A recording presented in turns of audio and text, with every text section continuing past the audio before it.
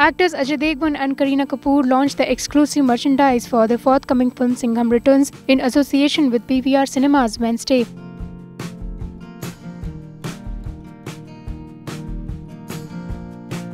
The merchandise includes exclusive Singham Returns popcorn bags, sippers for beverages, and lunch boxes that can also be carried home by the audience.